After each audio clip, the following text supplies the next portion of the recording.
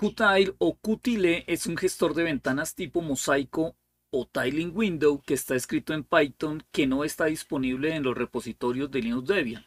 En Debian 12 se debe compilar dentro de un ambiente Python o instalar dentro de un ambiente Python y luego configurar para que arranque bien sea utilizando StartX si lo hacemos desde la consola TTY o desde un Display Manager según su página oficial, Qtile soporta tanto XORG como Wayland.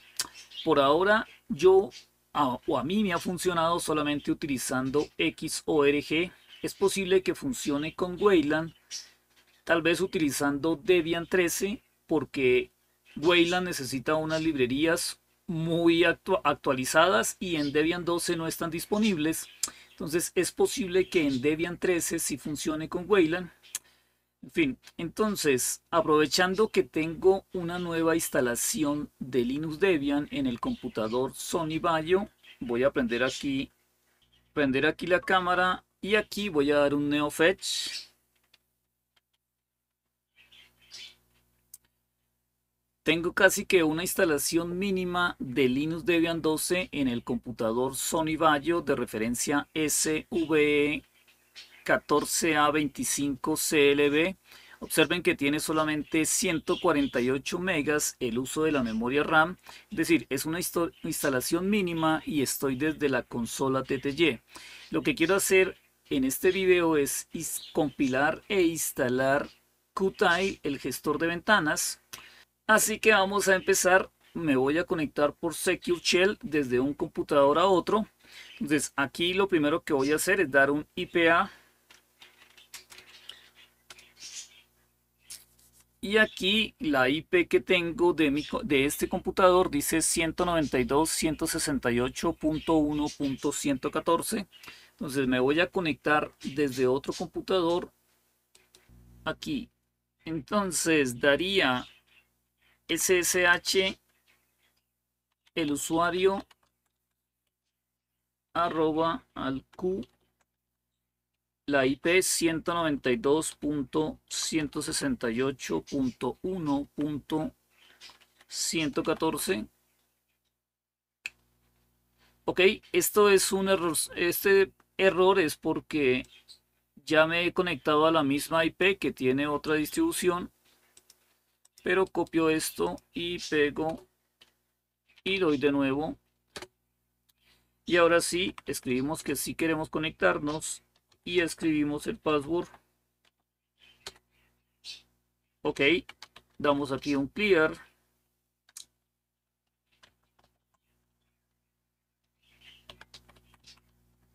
Voy a dar aquí un screen key para que aparezcan abajo las teclas que voy pulsando. Entonces, si doy NeoFetch, aquí ya estoy conectado a la versión, al equipo Sony Vaio con Linux Debian 12, la versión mínima.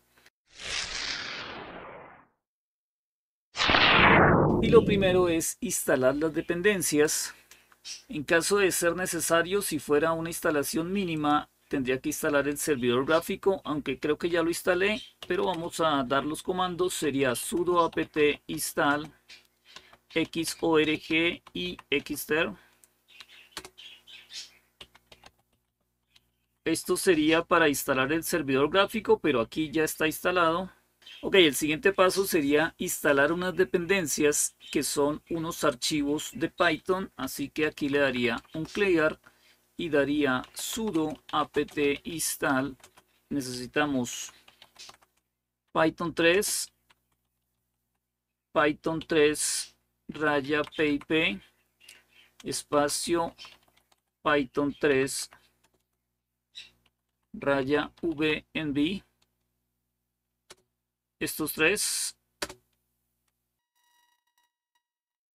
Ok, aquí doy de nuevo un clear y ya instalé estos primeros tres archivos. Ahora necesito otros adicionales. Sería sudo apt install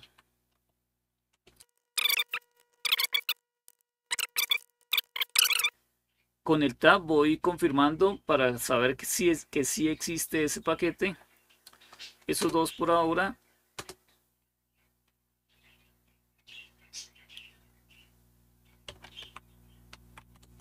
otro más, sudo apt install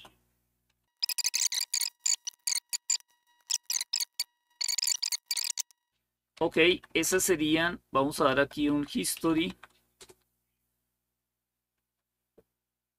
Perfecto, aquí están entonces los paquetes que necesitamos de todas las dependencias.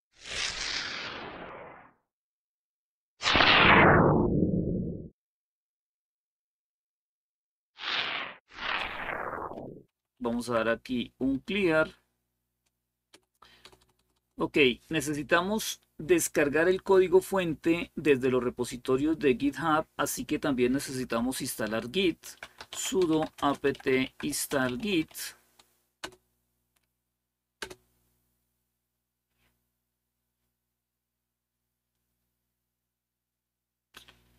Ok, instalado git. Y por si acaso podríamos instalar un emulador de terminal adicional a Xter, aunque creo que también ya lo he instalado sudo apt install. A mí me gusta usar Terminator. Sencillo y fácil de usar. Ya está instalado Terminator. El siguiente paso sería crear el ambiente virtual de Python. Así que aquí voy a dar cd clear. Entonces, para hacerlo en orden, para crear el ambiente virtual de Python voy a crear un subdirectorio mkdir-p que estaría en el home punto local slash src mkdir-p en el home slash punto local punto src y por supuesto tengo que ir a ese subdirectorio punto local src y aquí daría un ls por su, está vacío acabamos de crearlo. Y aquí parados en este directorio vamos a crear el ambiente virtual de python dando el comando python.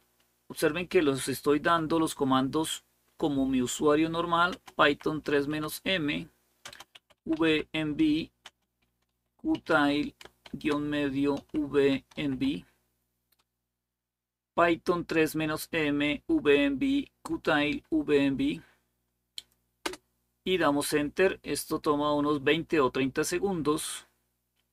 Ahí está si doy un ls entonces se ha creado este subdirectorio y, este subdirectorio es nuestro ambiente virtual de Python es decir que ingresamos aquí cd qtile si aquí damos un ls aquí ya están todas las librerías y subdirectorios de nuestro ambiente virtual de Python. parados aquí en este punto es que debemos descargar el código fuente de Qtile o Qtile y daríamos el comando git espacio clone https dos puntos slash slash github com slash qtile qtile.git con esto estamos descargando el código fuente o la última versión de Qtile o de Qtile sé que en la página de Qtile hay un procedimiento ligeramente diferente pero prefiero hacerlo así me ha ido bien con este procedimiento Ok, ya está descargado. Ahora si damos un ls, se ha creado este subdirectorio qtile o qtile y aquí dentro de este subdirectorio está el código fuente. Entonces, para compilarlo, voy a dar aquí un clear, de nuevo un ls. Para compilarlo, daríamos lo siguiente, bin. Observen que empezamos con bin, no es slash bin, es solo bin. Bin pip install qtile qtile slash punto. Importante el punto al final. Bin slash pip espacio install espacio qtile slash punto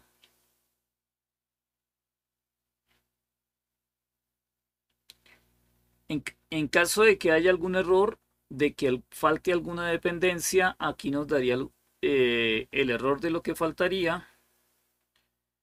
Perfecto, ahí a pesar de los errores o de los warnings de que eso está deprecado, etcétera, etcétera, pero al final dice successfully installed, instalado en forma correcta, exitosa.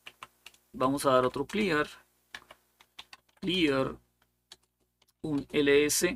Entonces lo que acabamos de hacer al dar el comando es que dentro de este bin se ha creado, si doy un ls bin, se ha creado este, sub, este, este archivo y este es el archivo qtile o el ejecutable que necesitamos o el bin, el binario de nuestro gestor de ventanas.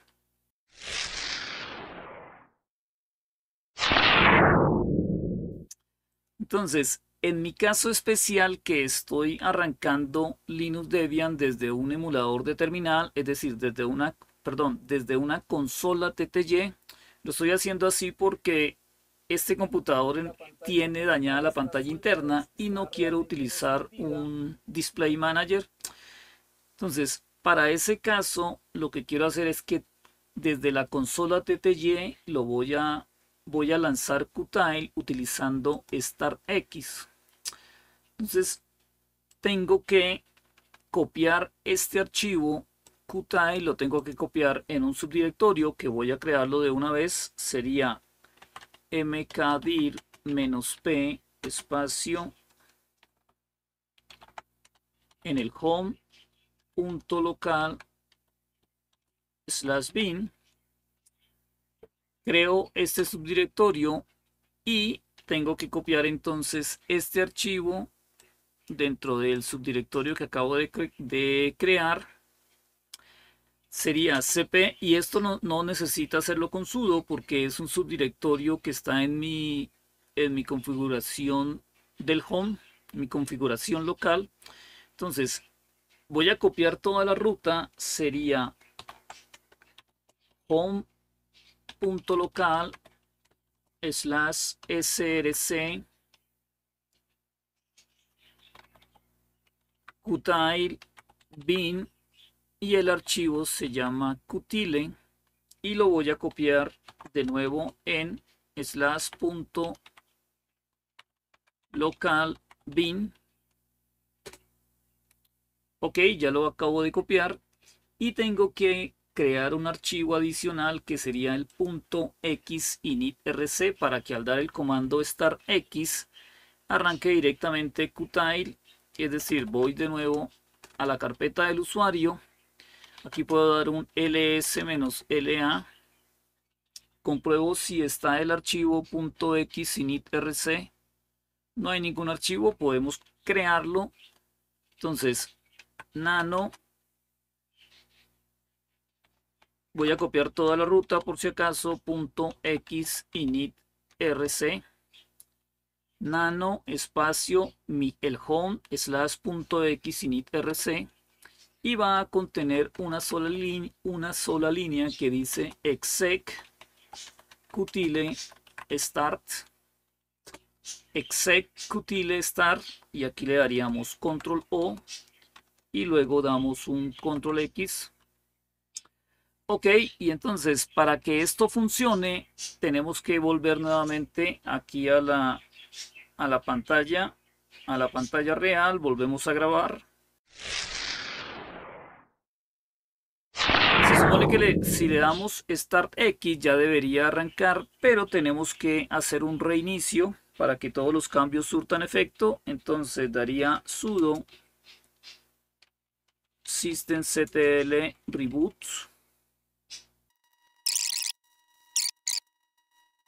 Ok, ahí está nuevamente el login. Entonces ingresamos con nuestro usuario Linux en casa y el password. Perfecto. Aquí solamente por costumbre damos un neofetch. Entonces, ahora sí, para ingresar a Qtile, a la instalación que acabamos de hacer, debemos dar, start, dar el comando startx, startx y enter.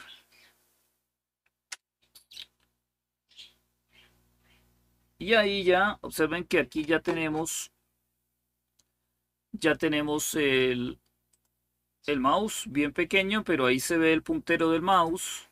Y si doy super y enter, ah, hay un pequeño detalle, un detalle muy importante. Ya está funcionando. Ahí sí, ahora sí ya funcionó. Perfecto, aquí le damos un NeoFetch. Recuerden que estoy desde la configuración desde una, desde una pantalla externa porque la pantalla interna está dañada, la pantalla interna del Sony Vaio. Pero ahí ya tenemos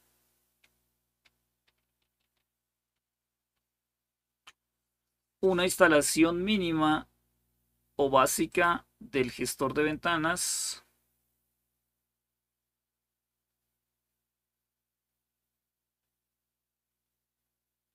Qtile Windows Manager con un, aquí dice 274 megas, el uso de la memoria RAM ya está instalado. lo que quedaría pendiente sería empezar a configurar el archivo, de, el archivo de configuración, modificar el archivo de configuración de Qtile, es decir, ir a cd.config ls cdqtile dar aquí un ls nano config.pi y este archivo empezaríamos a modificarlo. Por ejemplo, como estoy en la pantalla número 2, tendría que agregar otra mm, otra screen adicional para que aparezca aquí una barra pero bueno, esto ya lo he explicado varias veces en varios videos o voy a hacer una, haría un video adicional, pero aquí por ejemplo, borro esto de aquí y lo copio dos veces.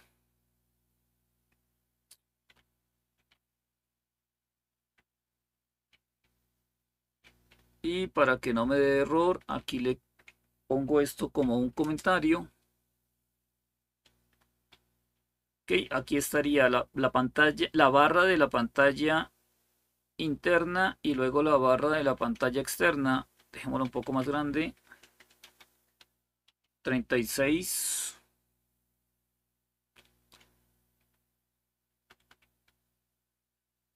Este de 16. Damos un control O control X y para que los cambios surtan efecto daríamos super control y R. Y ahí ya está, ya ahora sí en la parte de abajo tenemos la barra de Qtile o de Qtile perfecto, esta es entonces una instalación mínima o básica del gestor de ventanas Qtile o Qtile en Linux Debian 12